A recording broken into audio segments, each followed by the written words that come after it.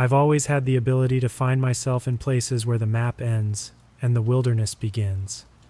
My home is one of those dots on the map that you'd miss if you blinked. Nestled in the mountains, it's a town so small that calling it a town feels like an overstatement. We're a hundred souls, give or take, and I've only ever laid eyes on about a fifth of them. I recently landed a job in a city that requires a drive through winding mountain roads, a journey that's as treacherous as it is isolating. The road is a mess, potholes the size of craters, stretches of uneven pavement that'll rattle your bones, and no shoulder to speak of. Just ditches and steep drops that make you wonder if anyone would ever find you if you went over. And then there's the wildlife raccoons, possums, coyotes, and deer. They saunter across the road like they own it, turning my 30 minute commute into a 40 minute obstacle course. Tonight, as I prepared for work, my ADHD was acting up worse than a rattlesnake in a heat wave. I was all over the place, scattered, unfocused, a whirlwind of half finished tasks. My work uniform, soaking in the washer, my coffee, cold and forgotten, my eggs, burning in the pan while I stared at them, lost in a maze of thoughts. I finally managed to pull myself together. Uniform in the dryer, I sat down to a meal of cold coffee and slightly burnt eggs. My phone was in my hand, and I found myself doom scrolling through social media, another rabbit hole that I couldn't afford to fall into. But I did. Time slipped away like sand through my fingers. Finally, I snapped out of it. I put on my shoes, hoping the worst of my scatterbrain was behind me. I tossed the dishes into the sink, grabbed my keys, and headed out the door. I knew I had to be careful. Spacing out at home was one thing, but on that road? A momentary lapse could mean hitting a deer or worse, driving off a cliff. I sat in my car, gripping the steering wheel, trying to collect my thoughts. I'd seen some meditation techniques on TikTok. Yeah, TikTok of all places, and figured it was worth a shot.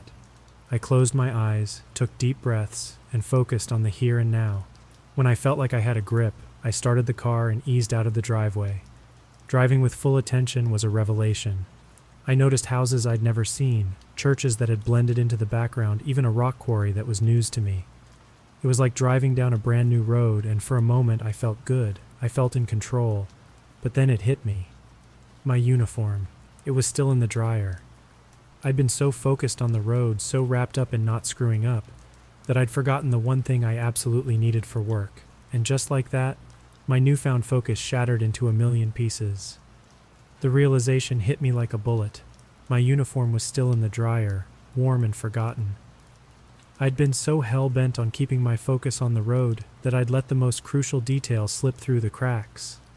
The irony wasn't lost on me. I'd mastered the road but failed the basics. I was about halfway to work, and the clock was ticking. My options were limited either show up to work out of uniform and face the consequences, or turn back home and risk being late. I chose the latter. I had about five minutes of driving before I could safely turn around, and that's when I approached Evans, a small town that was more of a blip on the map than a community. Evans had always been my favorite part of the drive. It was a flat stretch of road surrounded by tree covered mountains, a stark contrast to the winding uphill battle I usually faced. It reminded me of where I grew up, flat as a pancake but comforting in its simplicity. Evans was the only place to turn around after leaving my house, and as I drove into its boundaries, I felt a sense of calm wash over me. But that calm was short lived. My mind started to drift again, replaying the events of the evening, cursing myself for forgetting my uniform. Before I knew it, I was pulling into a small mechanic shop at the edge of Evans. It was the only place to turn around, and I figured I could also take a moment to refocus. I parked the car and sat there, gripping the wheel tightly. My mind was a jigsaw puzzle with missing pieces, and I needed to find them before I could move forward. I closed my eyes and took deep breaths, mimicking the TikTok meditation techniques that had worked earlier. After a few minutes, I felt like I'd regained some semblance of control. I started the car and made the U turn, mentally berating myself for the oversight, but grateful for the chance to correct it. As I drove back, my mind kept circling back to that mysterious hill I'd passed earlier. How had I never noticed it before? Was my attention that fragmented? The hill seemed to beckon, a dark enigma that I couldn't shake off. But I pushed the thought aside. I had more immediate concerns, like making it to work on time. I was almost home when I saw it the rock quarry, the churches, the houses that had caught my attention earlier. But this time they seemed less significant, overshadowed by the looming presence of that hill. It was as if the landscape had shifted, rearranging itself to highlight its most unsettling feature. I pulled into my driveway, rushed inside, and grabbed my uniform from the dryer. It was still warm, a small comfort in an evening that had spiraled out of control. I changed quickly, got back into my car, and headed out again, my mind a whirlpool of thoughts and emotions. As I drove past Evans for the second time, I couldn't help but glance at the mechanic shop. It was closed now, a dark silhouette against the night sky. But something told me that it held secrets, secrets that were intertwined with that mysterious hill. And as much as I wanted to ignore it, I knew that I was being pulled into a mystery that I couldn't easily escape. I was back on the road, uniform on, and a fresh cup of coffee in the cup holder. I'd lost time, but I was still in the game. The road stretched out before me, a winding path through the mountains that I'd come to know like the back of my hand, except, of course, for that hill. As I approached the spot where I'd noticed it earlier, my heartbeat quickened. There it was, rising up like a dark wave against the night sky. I couldn't shake the feeling that it was out of place, like a puzzle piece jammed where it didn't belong. It was steep, lined with trees on both sides, and had a single streetlight at its base that seemed to struggle against the encroaching darkness. I slowed down as I reached the bottom of the hill. Something about it felt off, like static in the air before a storm. I could see the moon in the sky, mostly full, but its light seemed to stop at the edge of the hill, as if swallowed by some unseen force. I hesitated, my foot hovering over the gas pedal. Then I shook off the feeling and started the climb. Halfway up, I felt it a strange smell that seemed to seep into the car. It was a mix of roses, cedar, and honey, but with an underlying stench of rotting meat. My stomach churned, and I rolled down the window, hoping for a breath of fresh air. But the smell only intensified, and I quickly rolled the window back up. I reached the top of the hill and drove on, but my mind was racing. What was that smell? Why did the hill feel so out of place? And why, for the love of God, had I never noticed it before? I was so lost in thought that I almost missed the turnoff for the mechanic shop in Evans. I pulled in, my tires crunching on the gravel. The shop was closed, but the lights were still on, casting a warm glow on the empty parking lot. I sat there for a moment, my mind a swirl of questions and half formed theories. Then the front door of the shop creaked open, and out walked the owner, a scruffy older man with a weather beaten face. He approached my car, and I rolled down the window. You all right? he asked, his eyes narrowing as he looked at me. Saw you turn around earlier. Everything okay? I hesitated, unsure of how much to reveal. Thought I'd forgotten something at home, I said finally. Turned out I didn't. Just heading back to work now. He stared at me for a moment, then grinned, a slow, unsettling grin that didn't reach his eyes. I saw you turn around earlier, he repeated. I'm sure whatever you left back there is better off that way. You should just keep going. A chill ran down my spine. What did he mean by that? And what did he know about the hill? I nodded, mumbled a quick thanks, and pulled out of the parking lot. But as I drove away, his words echoed in my mind, adding another layer of mystery to an already puzzling night. I was being pulled into something dark and inexplicable, and as much as I wanted to turn back, I knew I was already in too deep.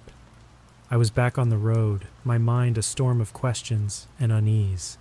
The mechanic's words had added fuel to the fire of my curiosity, and I couldn't shake the feeling that something was terribly wrong. I needed answers, and I knew where to find them that damned hill. I drove past Evans, my eyes darting to the mechanic shop as I passed.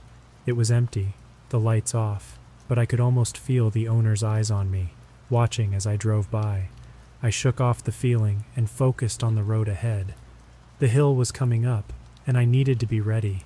As I approached, my heart pounding in my chest, I saw it the streetlight at the bottom of the hill, casting its feeble glow on the asphalt.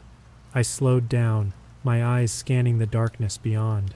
Then I pulled over, my tires crunching on the gravel at the side of the road. I took a deep breath, bracing myself for what was to come, and stepped out of the car. The air was thick with that strange smell, stronger now, almost overpowering. I fought back the urge to gag and started walking, my phone's flashlight cutting through the darkness. The hill seemed steeper now, more menacing, as if it had changed since my last visit. I pushed on, my legs burning with each step, my mind racing with thoughts of what lay ahead. I was about halfway up when I heard it a rustling in the trees, followed by a low growl that sent shivers down my spine. I froze, my flashlight trembling in my hand, and scanned the darkness. Nothing. I took a shaky breath and continued, my steps quickening as I neared the top. And then I saw it the hut, dilapidated and crumbling, standing at the edge of the road like a sentinel. I approached cautiously, my flashlight illuminating its broken windows and rotting wood. It looked abandoned, but something told me that appearances could be deceiving. I circled around it, my eyes peeled for any sign of life, and then stepped inside. The air was stale, heavy with the smell of decay and dampness. I shone my flashlight around, revealing a small empty room with a dirt floor and walls that looked like they could collapse at any moment. But it was what was in the center of the room that caught my eye a circle of stones, arranged in a pattern that I couldn't quite make out, surrounded by what looked like dried blood.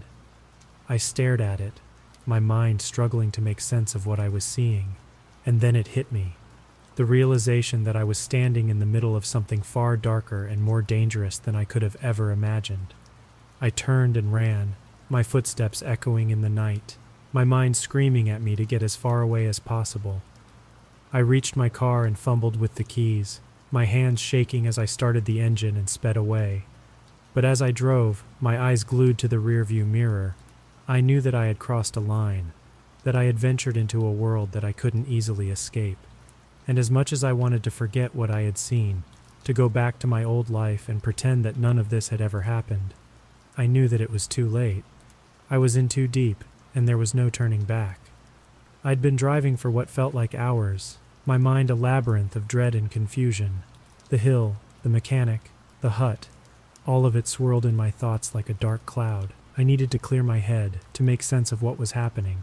So I did what any sane person would do. I pulled into a gas station, parked at the far end of the lot, and just sat there, staring into the void. I thought about calling someone, anyone, to share the burden of what I'd discovered. But who would believe me? Hell, I barely believed it myself.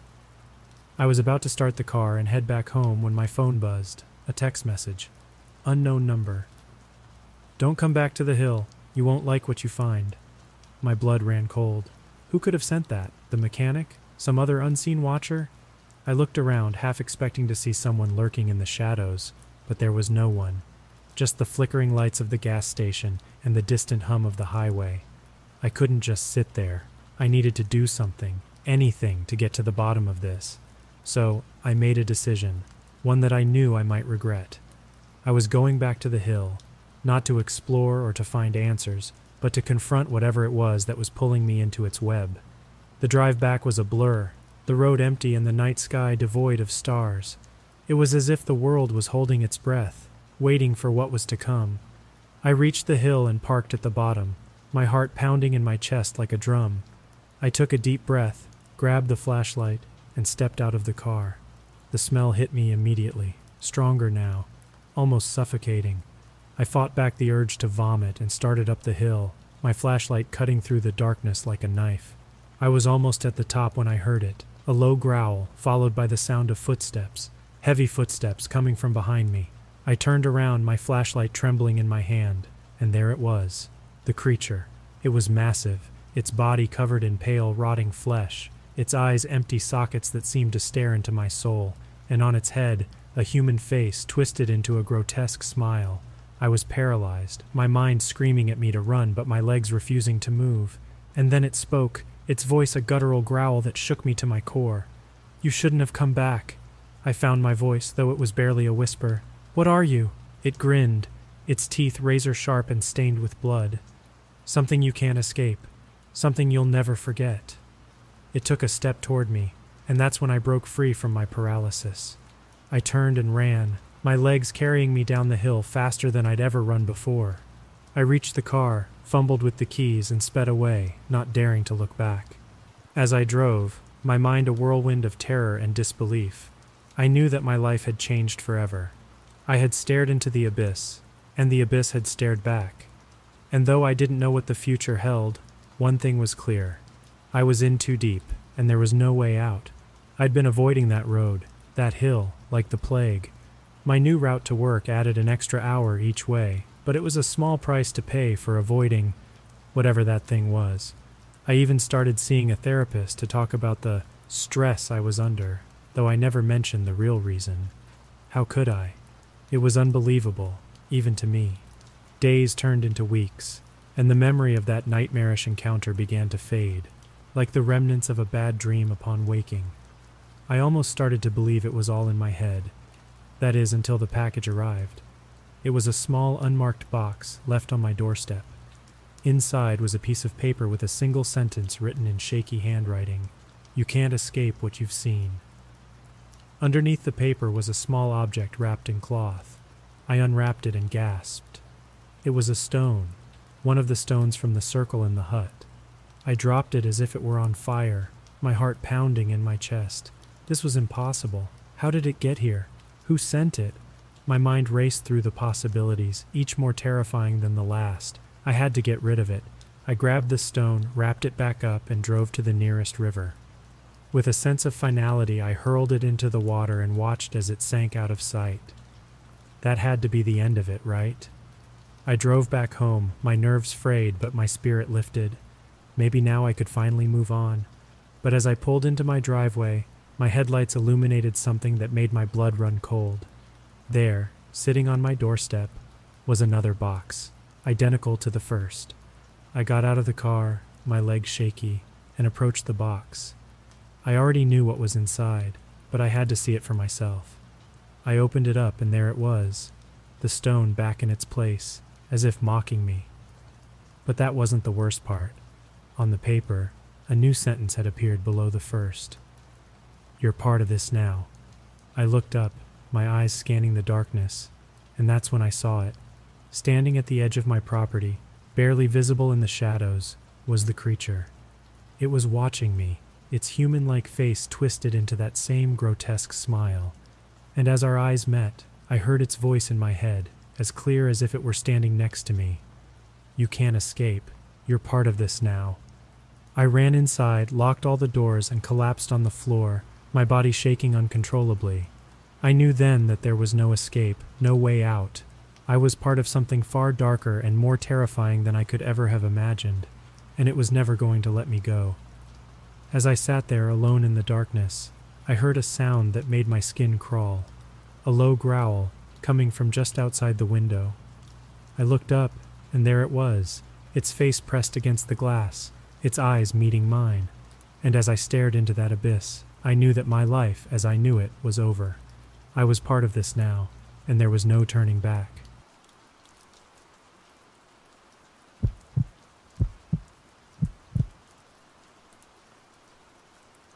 I've always been a city girl, born and bred on the East Coast, where skyscrapers touch the heavens, and the closest thing to wildlife is a stray cat darting between alleyways.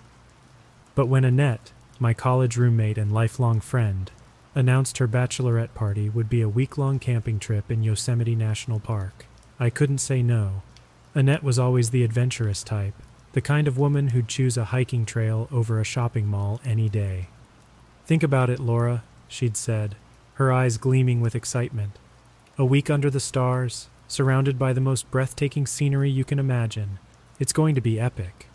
So here I was, crammed into a rented SUV with Annette, Sarah, Emily, and Megan, driving through the heart of California.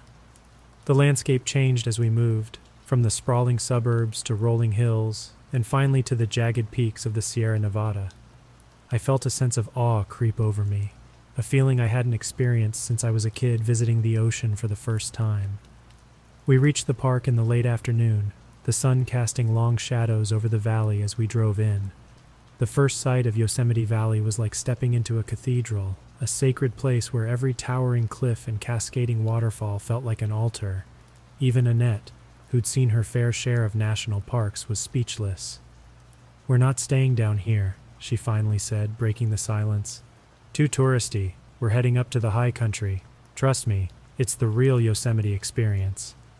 I glanced at Sarah, Emily, and Megan in the rearview mirror. We were all city girls, more accustomed to the concrete jungle than an actual one. But we nodded in agreement, captivated by Annette's enthusiasm. The drive up to the high country was a winding journey through narrow roads and hairpin turns. By the time we reached our campsite near the iconic half dome, the sun had dipped below the horizon and the first stars were appearing in the sky. We set up our tents in the fading light, each of us claiming a spot on the forest floor. Five's an odd number for tents, Annette observed. They're all two person tents. Laura, you okay bunking alone? I hesitated for a moment, my mind flashing back to every horror movie I'd ever seen. But then I looked around at the towering redwoods, the distant peaks silhouetted against the night sky, and felt a sense of peace wash over me. Yeah, I'm good, I said, unrolling my sleeping bag inside my tent. It's not like we're really alone out here anyway. Annette laughed. That's the spirit. Just wait, Laura. This trip is going to change your life. As I zipped up my tent and settled in for the night, I couldn't shake off a feeling of unease. It was as if the forest itself was watching us, its ancient eyes hidden in the shadows. I told myself it was just my imagination, the city girl in me not used to the sounds and sights of the wilderness. But as I lay there, listening to the distant howl of a coyote and the rustling of leaves in the wind, I couldn't help but wonder what else was out there, in the dark, watching and waiting. And so began our dream vacation, a journey into the heart of one of America's most beautiful landscapes. But as I would soon discover, even the most breathtaking beauty can hide the darkest secrets. Sleep didn't come easy that first night. Every rustle of leaves, every distant animal call, seemed to reverberate through my tent like a warning. I lay there, eyes wide open, staring at the nylon ceiling as if it could offer some sort of protection. When dawn finally broke, I felt more exhausted than when I'd crawled into my sleeping bag.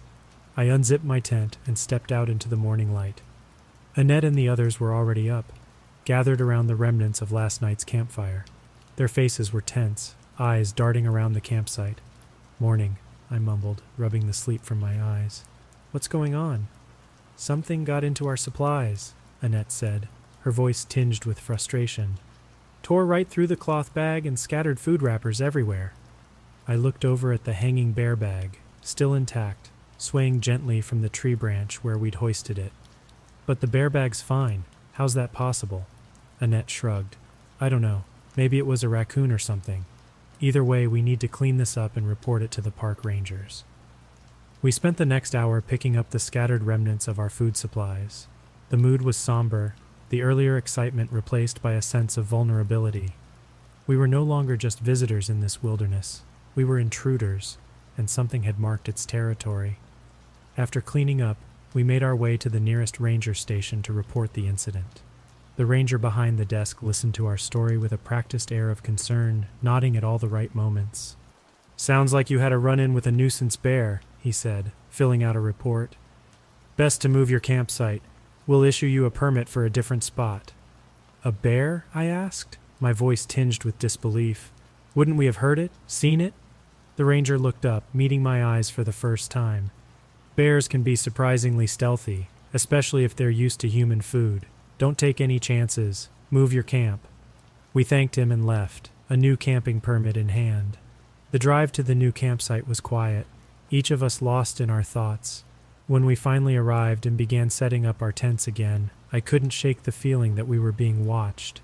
It was as if the forest had eyes, and they were fixed squarely on us. Hey, you okay? Annette asked, snapping me out of my reverie. Yeah, I said, forcing a smile.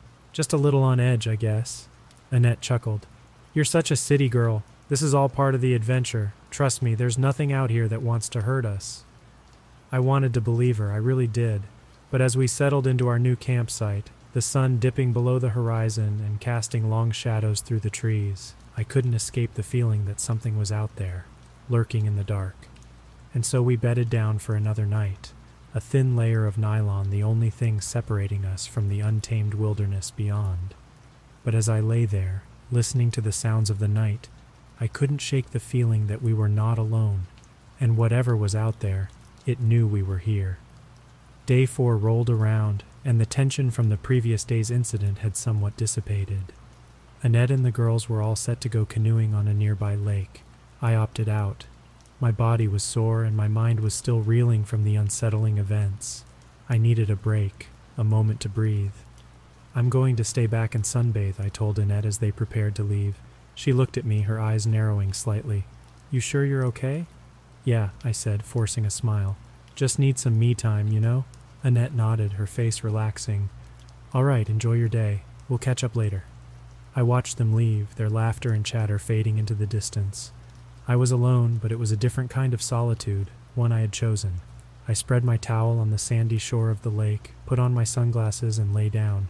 The sun felt good on my skin, and for a moment I forgot about the lurking fears and unsettling noises. I was lost in the beauty of the place, the way the sunlight danced on the water, the distant sound of birdsong. That's when I noticed him.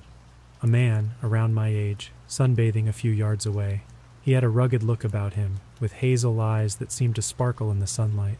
Our eyes met, and he smiled. Beautiful day, isn't it? he said, breaking the silence. I smiled back. It is, absolutely perfect. He got up and walked over, extending his hand. I'm Rowan. Laura, I replied, shaking his hand. We got to talking. Rowan was from Colorado, an avid hiker and outdoorsman. He'd been coming to Yosemite every summer since he was a kid. We talked about the beauty of the park, our favorite trails, and the serenity that comes from being in nature. Somehow, being out here makes all the problems of the real world seem insignificant, don't you think? He said, his eyes meeting mine. I nodded. I know what you mean. It's like an escape. Our conversation shifted to the strange occurrences at our camp. I told him about the raided food supplies, the move to a new campsite, and the unsettling feeling of being watched. Rowan's face grew serious. Sounds like a mountain lion to me. A mountain lion?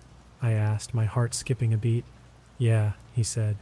They're elusive creatures. You'll only see one if it wants to be seen. If you can't see it, that's when you should be worried. His words sent a chill down my spine.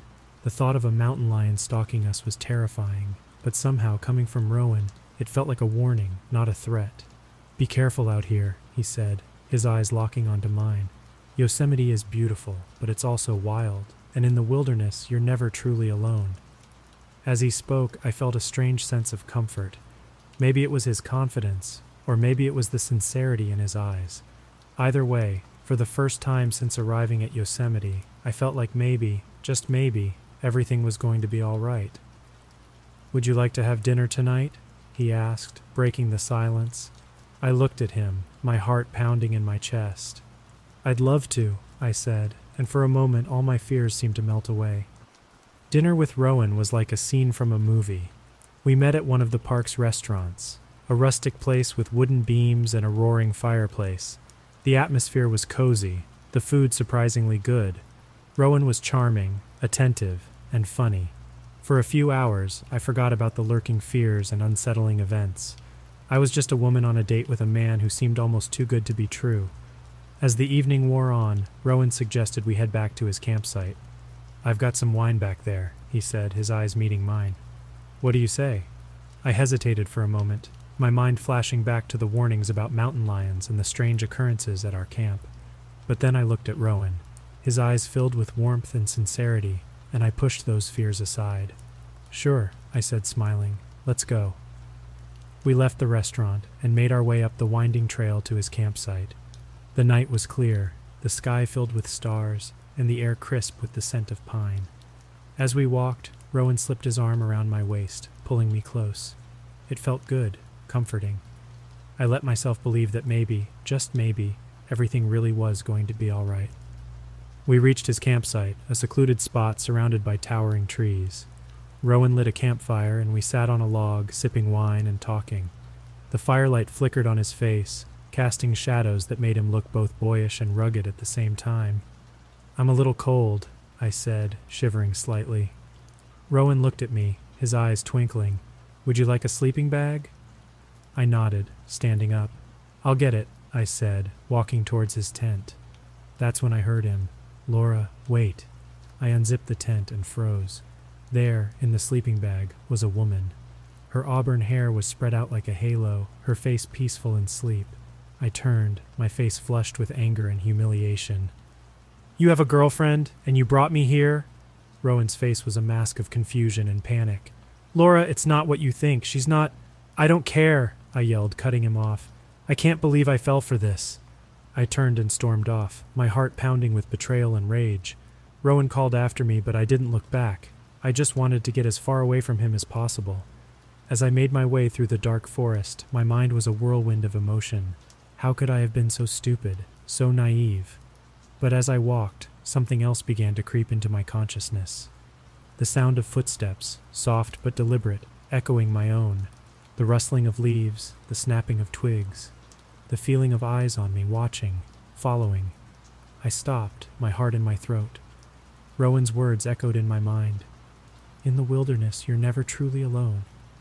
And as I stood there, in the dark, I realized just how terrifyingly true that was. I was disoriented, my mind clouded by betrayal and the wine from dinner. But as I stood there in the dark, the reality of my situation began to sink in. I was alone, in the middle of the wilderness, and something was stalking me. I reached for my phone, fumbling in the dark. No service, but the flashlight app would have to do. I turned it on, the beam cutting through the darkness, revealing nothing but trees and shadows. I took a deep breath, trying to steady my racing heart, and started to walk. That's when I heard it again. The soft, deliberate footsteps, mirroring my own. The rustling of leaves, closer now. My skin prickled with fear, my senses on high alert. I remembered Rowan's warning. A mountain lion will only be seen when it wants to be seen. I turned off my flashlight, plunging myself back into darkness, my eyes strained, trying to adjust, searching for any sign of movement. And then I saw it a shadow, darker than the rest, moving between the trees. I felt a surge of adrenaline, my fight or flight instincts kicking in. I chose flight. Ignoring the voice in my head telling me not to run, I bolted, my feet pounding against the forest floor, my breath coming in ragged gasps. I didn't know where I was going, didn't have a plan. All I knew was that I needed to put as much distance between me and whatever was stalking me as possible. I dodged trees, leapt over rocks, my body fueled by pure adrenaline, but I couldn't keep it up forever. My legs began to ache, my lungs burning with each breath. In a desperate bid for safety, I spotted a redwood tree with low hanging branches and scrambled up, my hands gripping the bark, pulling myself higher and higher until I was at least ten feet off the ground. I sat there, my body trembling, my eyes scanning the forest below. I heard it before I saw it the soft, deliberate footsteps circling the tree and then silence. I held my breath, my body tense, waiting. Minutes passed, each one feeling like an eternity, and then just as suddenly as it had started, it was over. The footsteps moved away, fading into the distance. I waited, my body rigid until the first rays of dawn began to filter through the trees.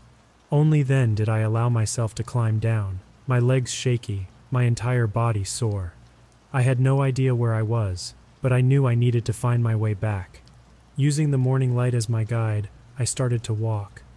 Hours passed. I was dehydrated, exhausted, and on the verge of collapse when I finally stumbled upon a trail. I followed it, each step a struggle, until I saw something that made my heart soar a sign pointing the way to the campgrounds. I quickened my pace, my body running on fumes but fueled by the promise of safety. And then, just as I rounded a bend, I saw them Annette and the others, their faces filled with relief and disbelief. We thought you were dead, Annette said, rushing over to hug me. I wanted to cry, to laugh, to collapse, but all I could think about was the shadow in the forest, the feeling of being hunted. And as I stood there, surrounded by friends, I realized something. I may have escaped, but I would never be free. I was back at camp, but the relief was short lived. Annette's face was ashen, her eyes red from crying. Two uniformed officers stood nearby, their expressions stern. We need to talk, one of them said, motioning for me to follow. They led me to a makeshift table where a couple of photos were laid out. The first was of Rowan, or as they called him, David Michael Whittle. The second was of a woman with auburn hair, the same woman I'd seen in the sleeping bag. Do you recognize these individuals? The officer asked. Yes, I said, my voice shaky. The man told me his name was Rowan. We had dinner last night. The woman was in his tent. The officer's face hardened. That woman is Alexis Fletcher, a park employee. She's been missing for a week. The man you dined with was the last person seen talking to her. We found her body this morning. She was murdered. My stomach churned, my head spinning. But I saw her in his tent. She was sleeping. The officer shook his head. She couldn't have been sleeping, ma'am. She was dead. The realization hit me like a ton of bricks. I had been inches away from a murderer, from his victim. I felt sick, violated. We need to search your camp, the officer continued. This man is dangerous, and we have reason to believe he might have been stalking you. The search turned up nothing, but the damage was done. The trip was cut short, everyone too shaken to continue. We packed up, our movements robotic, our conversations strained. I couldn't shake the feeling of being watched, the terror that had gripped me in the forest. As we drove out of Yosemite, I looked back at the towering trees, the majestic peaks, and felt a shiver run down my spine. This place had promised an escape, a refuge. Instead, it had become a hunting ground, a place of nightmares. Weeks passed, but the fear remained. I triple checked my locks at night, jumped at every sound. My therapist said it was PTSD, that it would take time to heal. But deep down, I knew the truth. I would never be the same. Then one night, as I was lying in bed, I heard it a soft, deliberate footstep outside my window. My heart stopped, my body frozen in terror. I mustered the courage to look, pulling back the curtain just an inch, and there he was, standing in the moonlight, Rowan, or David, or whatever his name was. His eyes met mine, and he smiled, that same charming smile that had once made me feel special. As I reached for my phone to call 911, I noticed something in his hand. It was a photo, the same one the police had shown me. Only this time it wasn't just Alexis in the picture. It was me, standing next to her, both of us smiling, unaware. My scream was swallowed by the night, a chilling realization settling in. I had escaped, but he had found me, and in that moment, I knew. The hunt was far from over.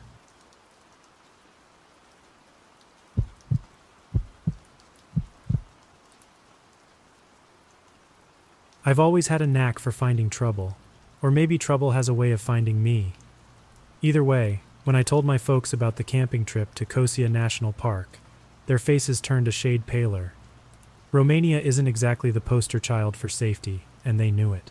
My mom's eyes narrowed, a sure sign she was about to launch into one of her cautionary tales.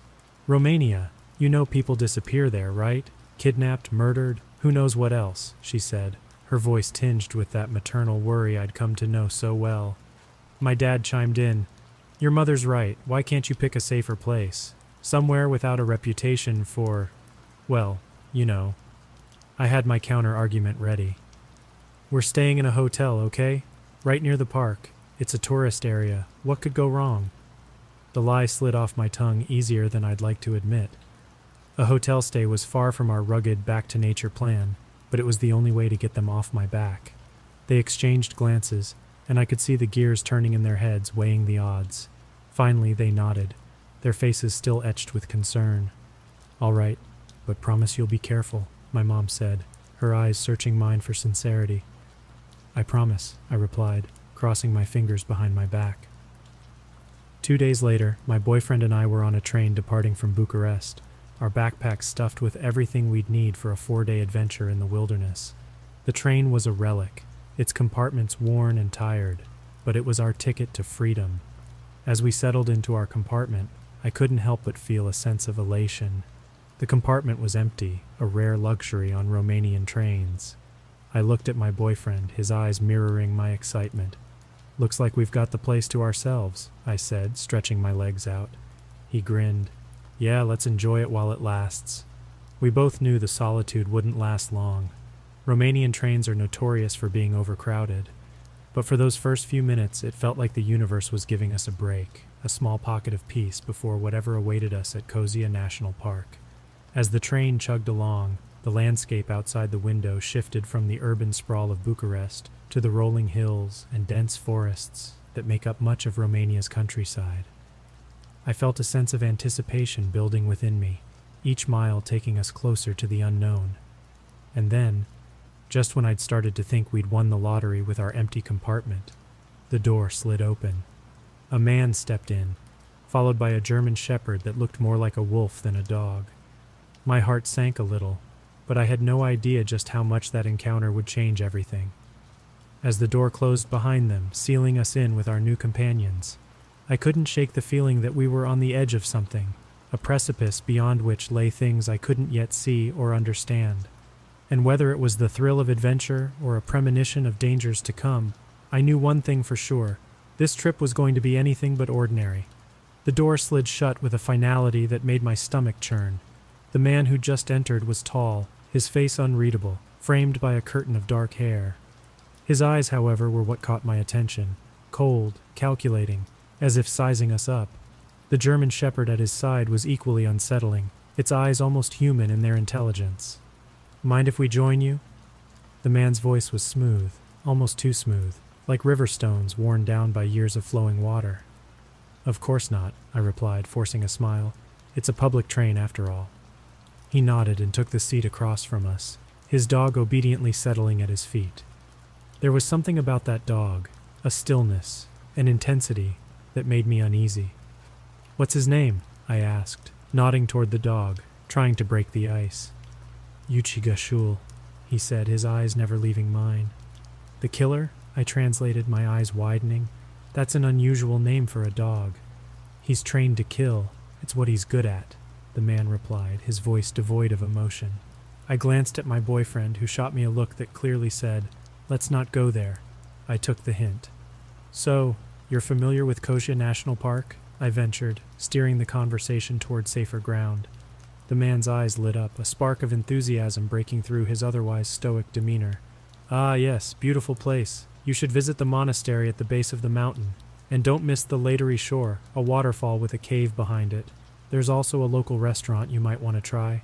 His sudden chattiness was disconcerting, but also a relief. Maybe he was just a nature enthusiast, I thought, trying to reassure myself. Thanks for the tips, I said, genuinely grateful for the information. We're new to the area, so any advice is welcome. He nodded, seemingly satisfied, and then fell silent. The rest of the journey passed in an uncomfortable quiet, punctuated only by the rhythmic clatter of the train on the tracks.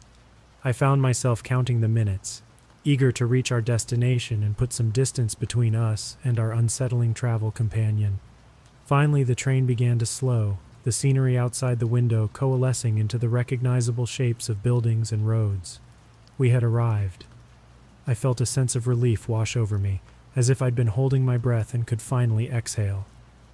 We're here, I said, looking at my boyfriend, then back at the man and his dog. It was nice meeting you. The man nodded, his eyes unreadable once again. Enjoy your stay, he said, his voice tinged with something I couldn't quite place. Was it a warning, a threat, or just my imagination running wild? As we grabbed our backpacks and stepped off the train, I took one last look back. The man and his dog were gone, vanished as if they'd never been there at all. It was as if the universe had swallowed them whole, leaving me to wonder if they were ever real to begin with. And yet, as we made our way toward Kosha National Park, I couldn't shake the feeling that our paths would cross again. And next time, I feared, the stakes might be much higher. The train station was a blur of activity, a hive of travelers and locals, each absorbed in their own world. We stepped off the platform, our backpacks heavy but our spirits light. The mysterious man and his dog were behind us, or so I hoped. Now it was just us in the wilderness, a blank canvas waiting to be painted with our adventures. We started our trek toward Kosha National Park, the map in my boyfriend's hand our only guide.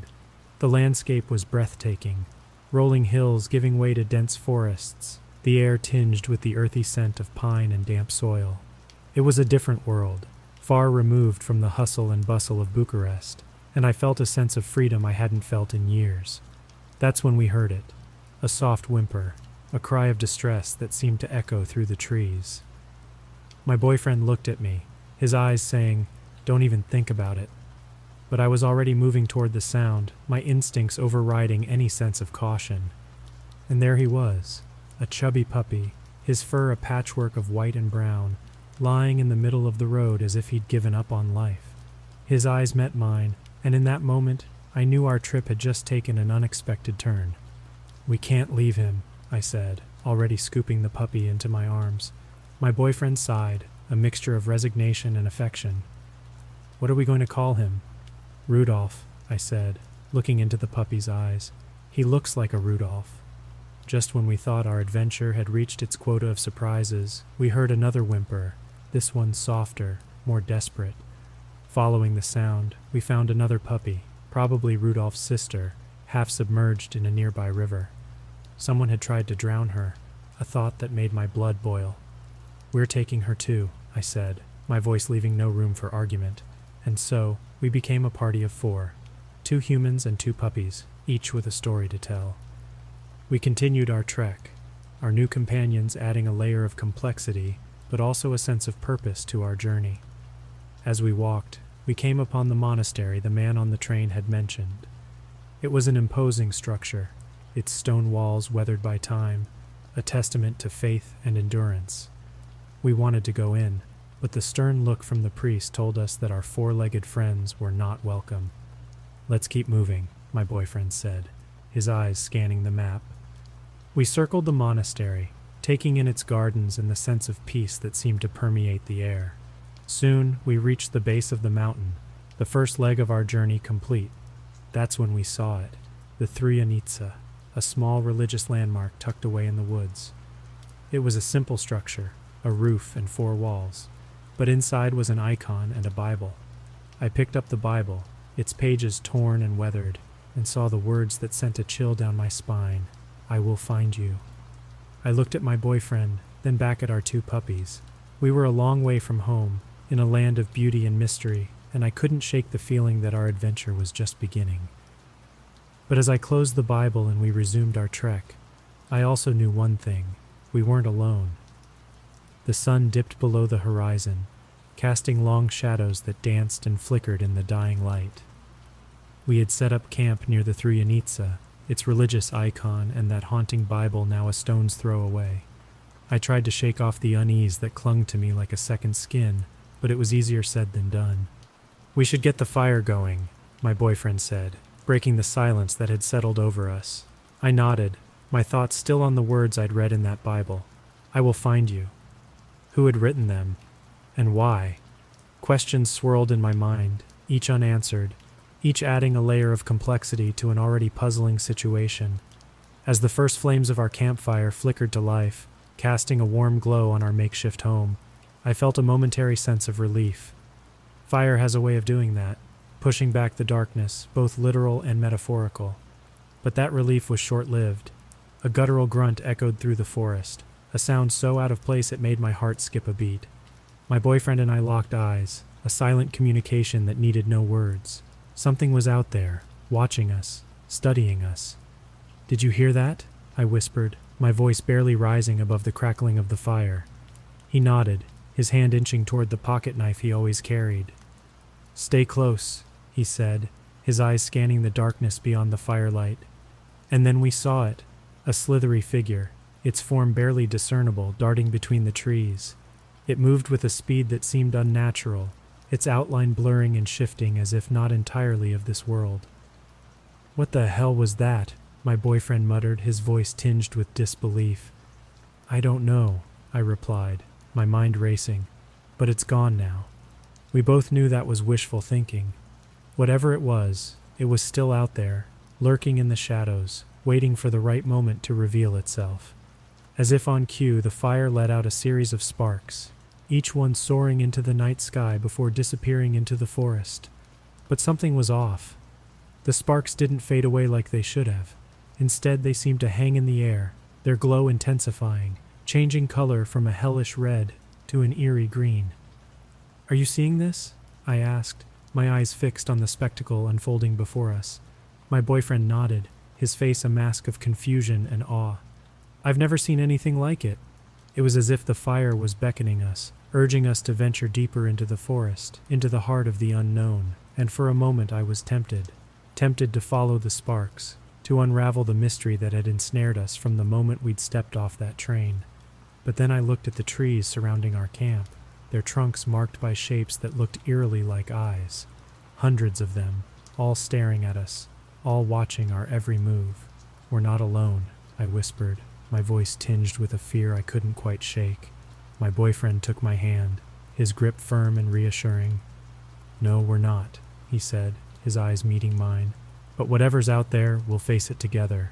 And as the fire continued its ghostly dance, casting shadows that seemed to come alive in the darkness, I knew he was right.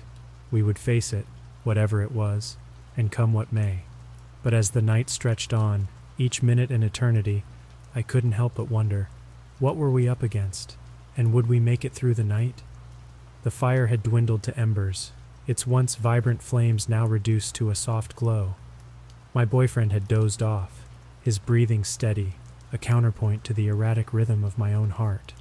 The puppies, Rudolph and his sister, were curled up beside him, their tiny bodies rising and falling in sync with his breaths. I should have felt comforted, but I didn't. The night was too still, too quiet, as if holding its breath in anticipation.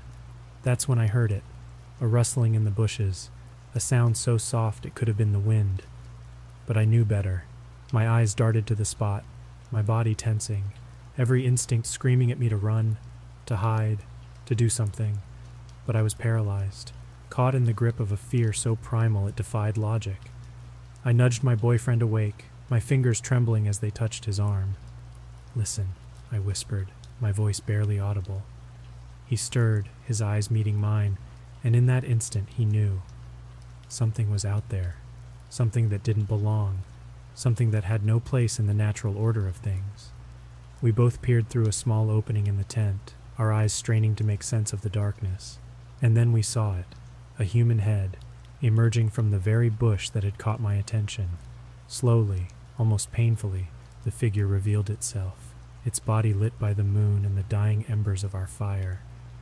It was him, the man from the train, his face twisted into a grotesque mask, his eyes devoid of humanity, and he was naked, his body exposed as if daring us to look, to bear witness to his madness.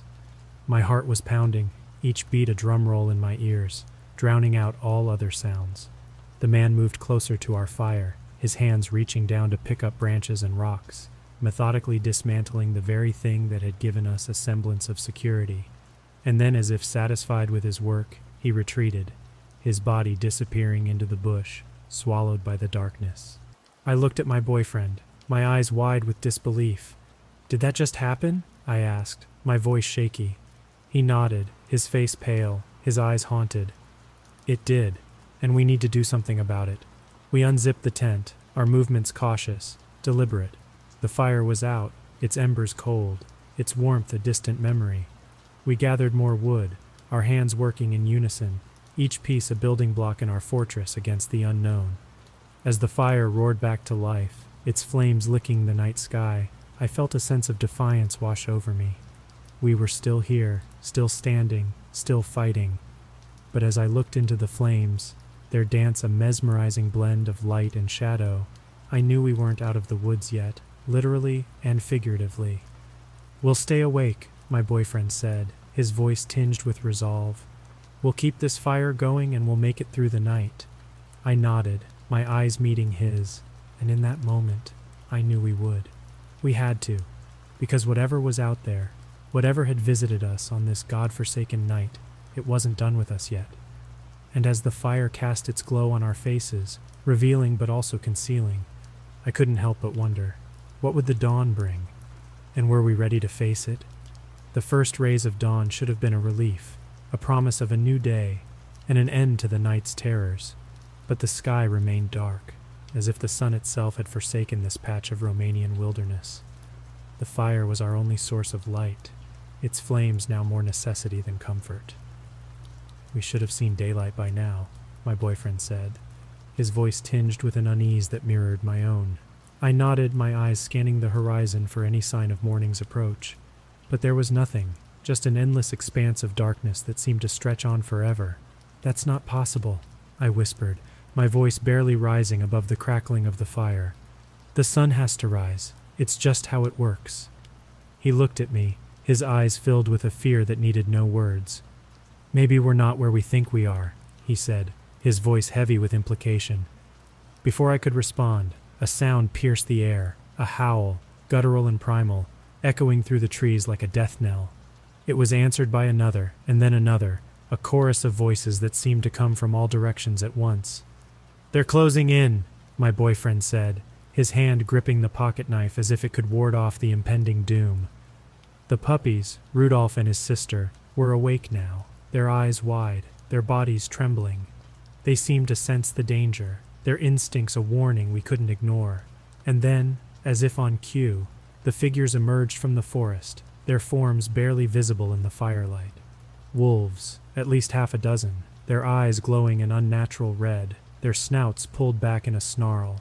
But there was something off about them, something that defied explanation.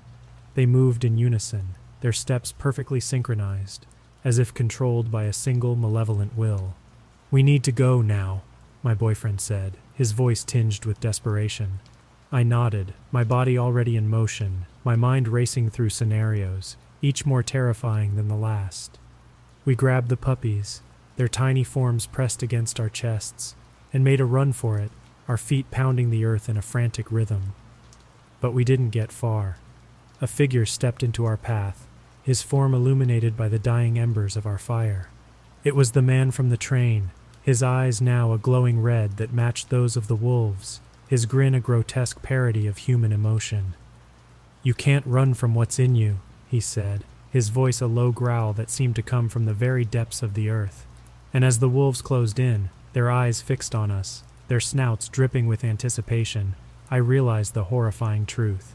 We were never meant to leave this place, this patch of wilderness that existed outside of time, outside of reality, we were part of it now, part of its eternal darkness, its insatiable hunger.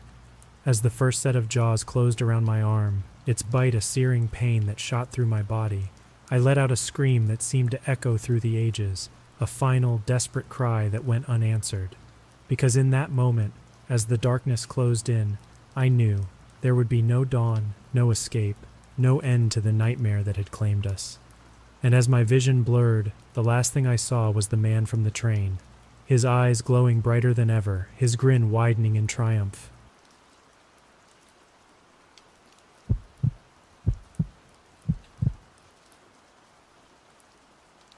I have a habit of daydreaming, not the kind where you're half listening to a teacher drone on about algebra while you're mentally on a beach somewhere. No, I'm talking about daydreams so vivid you can smell the salt in the air, feel the sand between your toes, and hear the waves crashing. It's a gift and a curse, really. A gift because it makes long road trips bearable, and a curse because sometimes the line between what's in my head and what's real gets a little too blurry for comfort. We were packed into our new RV, a hulking beast of a vehicle that my dad was still figuring out how to maneuver. Best investment I ever made, he declared, gripping the wheel like he was wrestling an alligator. Mom was in the passenger seat, her eyes scanning the road ahead, probably contemplating the wisdom of letting Dad drive this monstrosity. I was in the back, my younger sister next to me, her nose buried in some teen romance novel. Florida, here we come, Dad announced, his voice tinged with that kind of forced enthusiasm parents muster when they're trying to make something sound more fun than it actually is. We'd been driving for hours, the landscape outside shifting from the familiar to the increasingly foreign. The sky was a dull gray, the kind that makes you forget the sun ever existed. But we were heading south, towards warmth and sunshine, and that was enough to keep everyone's spirits up. Eventually, we pulled into a rest stop near Lake City. The place was a hive of activity, buzzing with travelers, truckers, and families with screaming kids.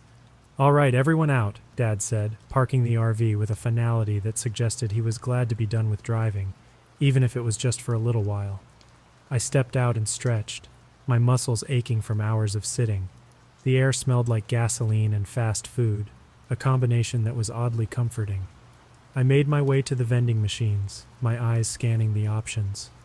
Just as I was about to make my selection, a man sidled up next to me.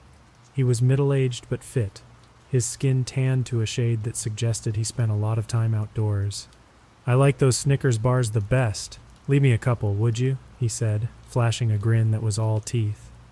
Sure, I replied, making small talk as I punched in the numbers on the vending machine. His name was Alex, he told me, a businessman from Arizona.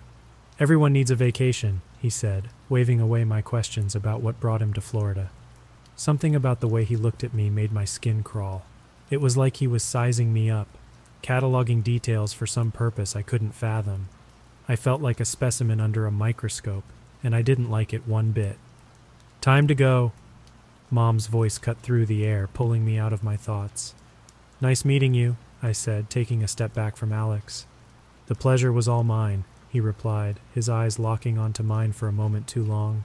As I walked back to the RV, a shiver ran down my spine. Something about that encounter felt off, but I couldn't put my finger on it. Shaking off the uneasy feeling, I climbed back into the RV. Little did I know that wouldn't be the last I'd see of Alex, and the line between my vivid daydreams and reality was about to get a whole lot blurrier. The RV rumbled into the campground, a patchwork of tents, trailers, and outdoor enthusiasts trying to escape the grind. Dad backed the behemoth into our rented lot with the precision of a surgeon, or at least he liked to think so. Like a glove, he announced, stepping out of the driver's seat as if he'd just landed a plane. Mom was already flipping through a campground brochure, her eyes darting over the activities listed. There's a nature trail that leads to a conservation area, she said, looking up. We should explore it. I was already ahead of her, my new digital camera in hand. I was thinking the same thing, I said, eager to capture the raw beauty of Florida's wilderness. My sister rolled her eyes, more interested in the campground's Wi Fi password than the great outdoors. We're coming too, Dad declared, pulling out a pair of binoculars from an overhead compartment. Can't let you have all the fun? I hid my disappointment. I'd been looking forward to some alone time, maybe even sneaking off to smoke a bowl or two, but with my parents tagging along, that plan was as good as dead. We set off on the trail, a narrow path that wound through towering trees and thick underbrush. The air was heavy with the scent of damp earth and decaying leaves, a smell I found oddly comforting.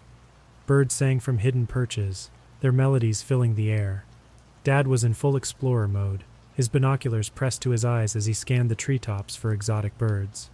Mom was a few steps ahead, her pace brisk, her eyes set on the path ahead. I lagged behind, my camera ready, waiting for the perfect shot.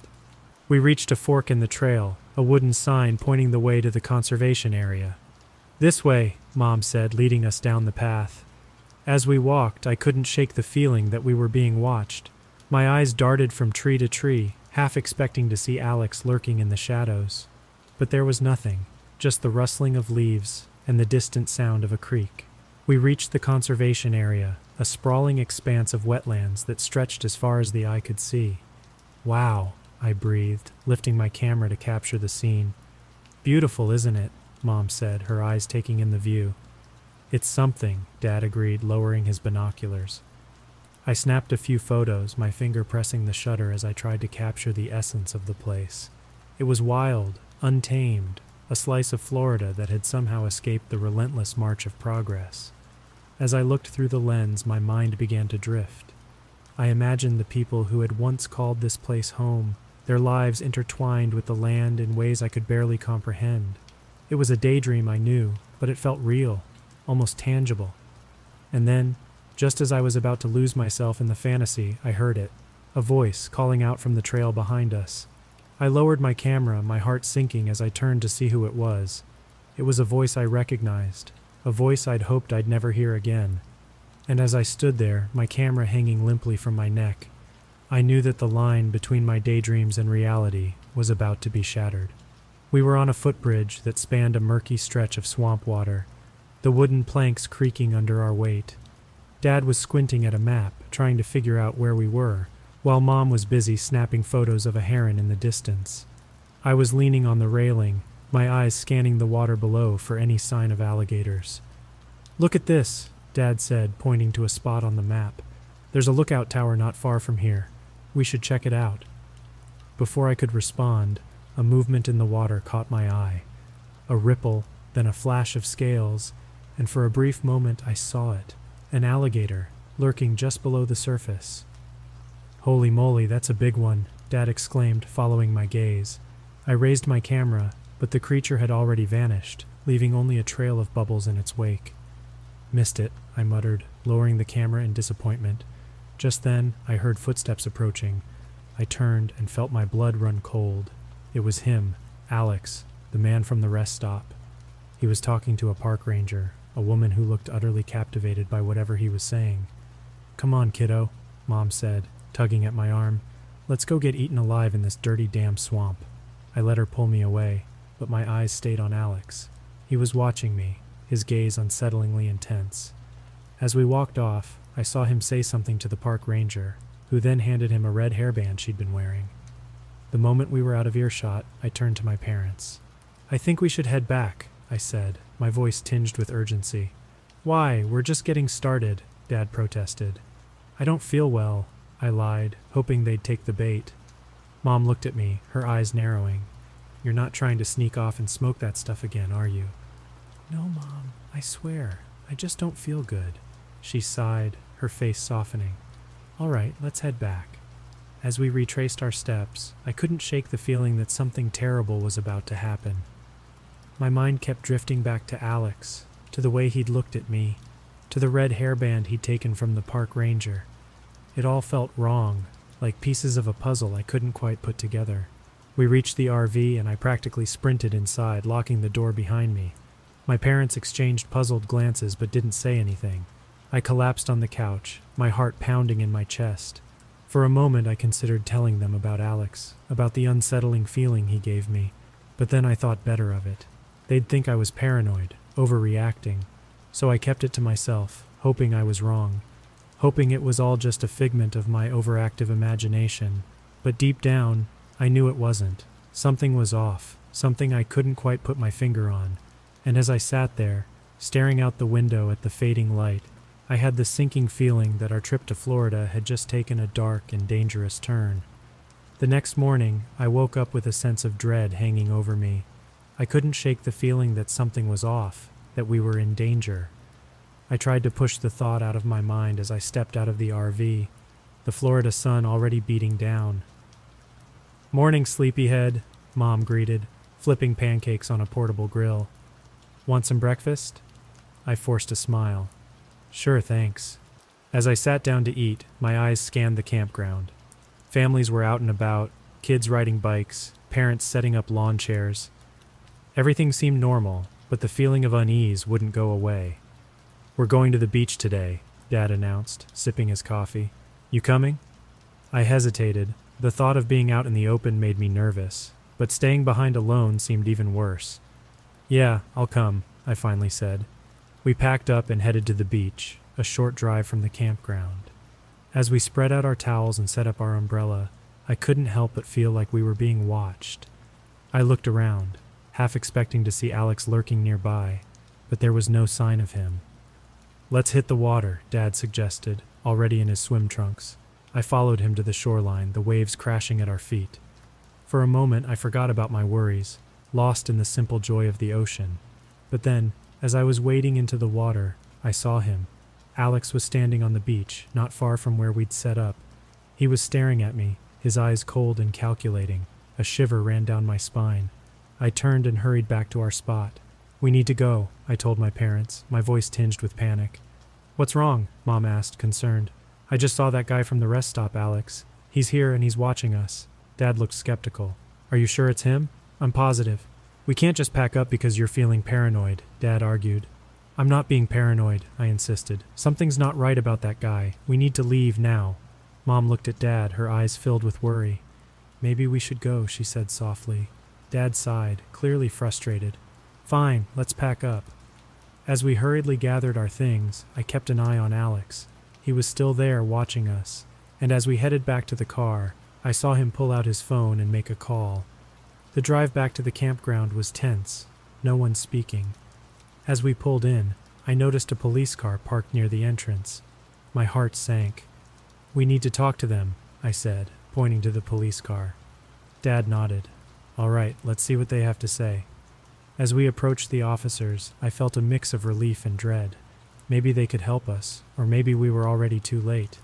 But as I looked back at the campground, at the people going about their day, Oblivious to the danger lurking among them, I knew we had to try. We approached the police officers, their uniforms crisp and their faces stern. Dad took the lead, explaining that we'd seen someone suspicious. someone we'd encountered before. Alex, I added, from Arizona. He's been following us. The officers exchanged glances. We've had a report of a missing park ranger, one of them said. You think this Alex is involved? I can't say for sure, Dad replied, but something about him doesn't sit right. The officers took down our information and promised to look into it. As we walked back to the RV, I couldn't shake the feeling that we were running out of time. We should leave, I said, my voice urgent. We should pack up and go now. Dad hesitated, looking at Mom. What do you think? I think our son is scared, she said softly, and that scares me. We started packing, throwing our things into the RV with a sense of urgency. I kept looking over my shoulder, half expecting to see Alex at any moment, but he was nowhere to be seen, and that somehow made it worse. Finally, we were ready to go. Dad started the engine, and I felt a wave of relief wash over me. Maybe we'd dodged a bullet. Maybe we were going to be okay. And then I saw her, the park ranger who'd been talking to Alex. She was standing at the edge of the campground, her eyes vacant, her face expressionless, and she was holding something in her hand, a red hairband. My heart stopped. Dad, wait. He slammed on the brakes, looking at me in confusion. What is it? Her, I said, pointing to the ranger. She's not herself. Alex did something to her. Dad looked at the ranger, then back at me. You can't know that. I do, I insisted. I can feel it. Suddenly the ranger moved, her hand reaching up to touch the hairband. And then, in a voice that was not her own, she spoke.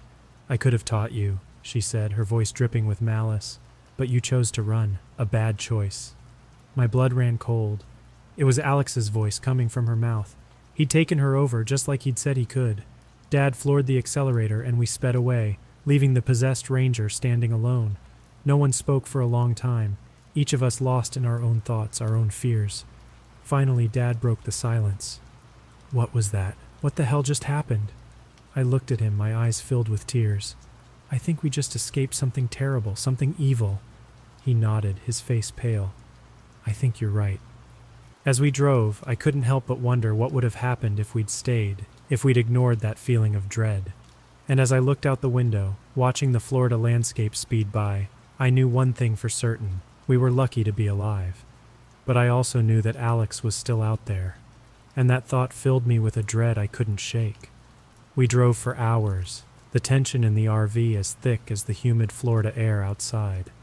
No one wanted to talk about what had happened, as if speaking it aloud would make it more real, more terrifying than it already was. But the silence was its own kind of horror, each of us alone with our thoughts, our fears. Finally, we crossed the state line, leaving Florida behind. I felt a small sense of relief, as if we'd put a physical distance between us and the evil we'd encountered. But I knew it wasn't that simple. Whatever Alex, or the thing that had been Alex, was, it wasn't confined to one place, one state.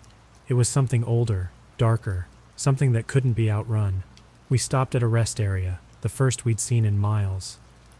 I need to stretch my legs, Dad said, his voice shaky. Anyone else coming? I'll stay here, Mom replied, her eyes never leaving the road ahead, as if she could see something we couldn't. I got out of the RV, my legs stiff, my body aching. I walked around the rest area, my eyes scanning the faces of the other travelers.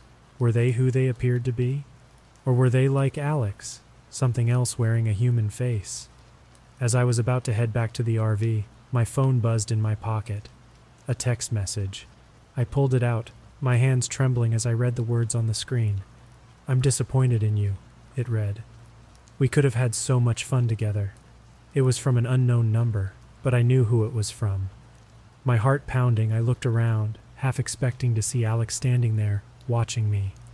But there was no one, just families on their way to vacations, truckers on long hauls, people living their lives, unaware of the darkness that lurked among them. I got back in the RV, my hands shaking as I showed the text to my parents. We need to go to the police, Dad said, his voice tinged with fear. We need to tell them everything. And then what? I asked, my voice hollow. Do you think they'll believe us? Do you think they can stop him? Dad didn't answer, and he didn't need to. We both knew the truth. There was no stopping Alex, no escaping him. He was out there, somewhere, and he would find us, no matter where we went, no matter what we did. As we got back on the road, I couldn't shake the feeling that we were being watched, that we were never truly alone, and as I looked out the window, at the endless road stretching out before us, I knew that we were heading into a darkness far deeper than the night, a darkness that would never end. And somewhere, out there in that endless dark, Alex was waiting.